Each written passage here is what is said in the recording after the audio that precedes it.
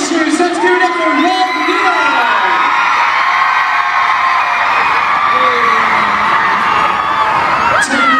Goalkeeper, Jonathan. Off we go.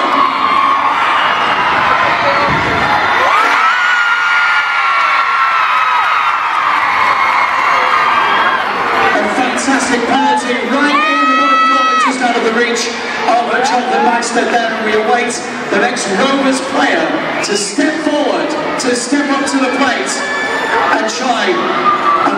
Rovers back ahead in the penalty shootout competition.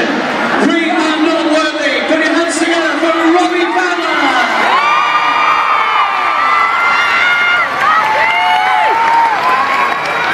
Has the three horseshoes goalkeeper ever faced a more daunting prospect than this? Here we go.